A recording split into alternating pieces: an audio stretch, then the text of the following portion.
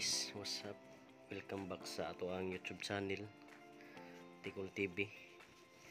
Karon di guys na ako dire sa Metro Cebu Expressway Naga to Danau.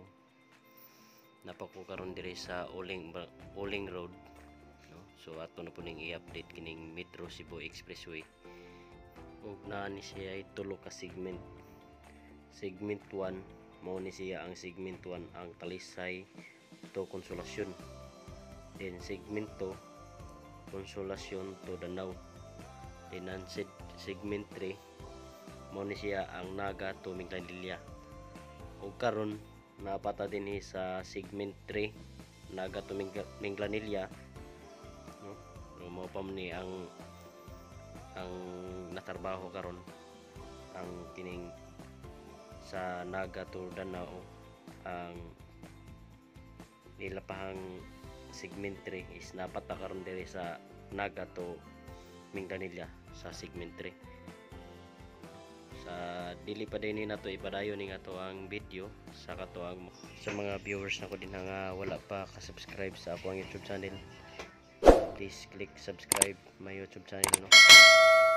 O i-click na sa dang notification bell para updated ka sa mga bagong i-upload ng mga video. O karon sa katuday mga followers din ako haragan kay salamat sa inyong suporta. No? Ipadayon ni nato dire. Muna ni siya karon guys sud sa 2 weeks ta wala ka ari dire ining Metro Cebu Expressway.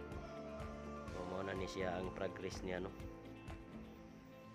So last nga hingarita dire kani dinhi ang U-turn area. Kari diri kini nga tong side nga tong yagian. Nga pa dong sa babaw dili pa ni siya pagyan. So karon ari na ta diri agi kay dito sa Picas area. Gi-close ni siya dito kay gitrabaho ni dito sa babaw. So ari ta diri agi. Makita sa nato diri nga ang ilahang Center Island ah, lapad kay no? Ug the same time na sad ang diri ang gilid uh, gitrabaho na nila. Na natay solar nga suga. No? Ang ato ang riprap taas na natay sa nagyanan sa tao no? O na sa tay kuan dinhi ah, mga nagtrabaho sa diri karon nga adlaw padayon ni nato nga ah, i-update 2 weeks na sa nga moari diri kung sa sa mga progress sa ilahang pagtrabaho. No? nindot na kayo. O kaning mahumaning Metro Cebu Expressway Naga to Danau uh, makonsume na lang ni siya og 1 hour and 30 minutes sa imong biyahe no? Kay express man siya. So nindot na kayo. Dali ra kayo ang atong pagbiyahe. Ah, south to north. So dali ra kayo ang atong pagbiyahe nindot um, dali na kayo ta maabot sa atong padulungan no kung wala na hasol dire. Dili na ta moagi sa highway kay nanatay expressway nga agyan so dinhi putol pa ni dinhi repita sa side. Ngadto ni padong sa ubos no? So, dito tagikan. Na mga na nagtrabaho na leader uh, pison. so putol na sa ni dinhi repita nga side. So mo na dinhi no? Kita na to diri sa babaw nga ang Island dapat kayo nindot kay tanawon og mahumanan ni ah, nindot kay tanawon ning maong ah, karsada Metro Cebu Expressway. Padayon tanga sa babaw.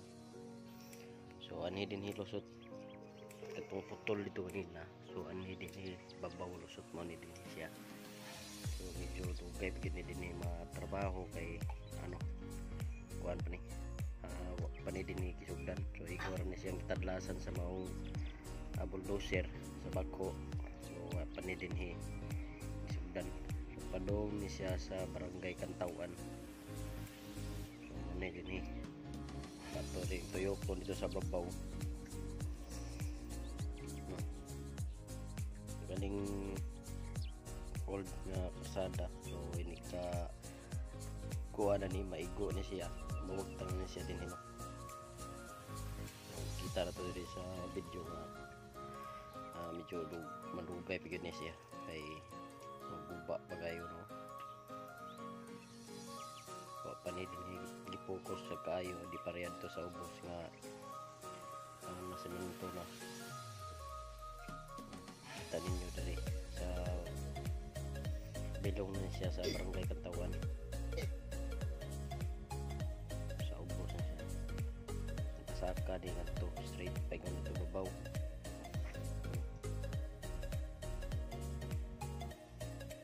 ako pagay ni siya nga uh, trabahoon kung padayon tangari sa unahan lisod medyo lisod kayo po ang pagbiyahe may gani karon kay dili siya uwan uh, init kay ngagyan so dili dangog so, kakadok ni siya sa dahili okay. huwag na siya kung disugdan so sa babaw jutay nanay riprap. So gisugdan na nila po og riprap. So dito sa babaw na nay truck um, gisugdan na sa nadiag sa minto. So naputol pa na diya nga side. So na yung mga riprap sa gilid para support sa yuta nga di mo dahili kay delikado sa mga nagtrabaho kung dili butangan og support ang ali. So diri nga side sa kilid sa pikas. Ana na ni siya riprap so diri sa pikas kaning sa babaw na to.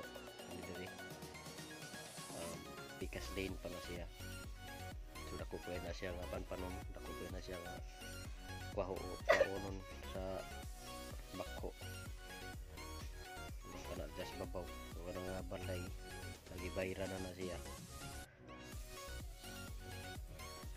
So kani nga mau riprap sa gilid kini kasi nga side sa pikas. Uh, fix na na siya mo na siya diya.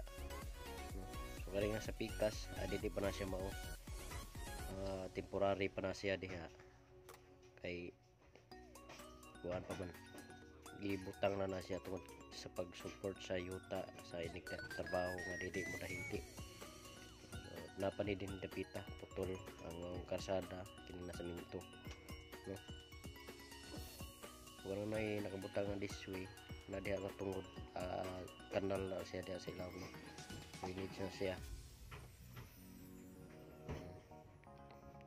So kani din ibabaw. Apan panon pa na siya. Dako pa na siya nga trabahoon. Dako pa na siya nga kuwaonon og yuta. Na ibakho diri nga naghakot. Na nag kakasa mga yuta. Butang ni siya mong dump truck. Ug butang ni diri sa ubos butang nila diri sa ubos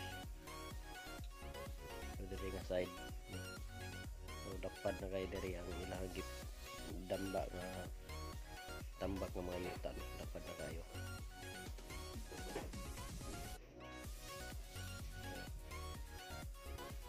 hindi pa ni siya madali trabaho tubre pa ni mahuman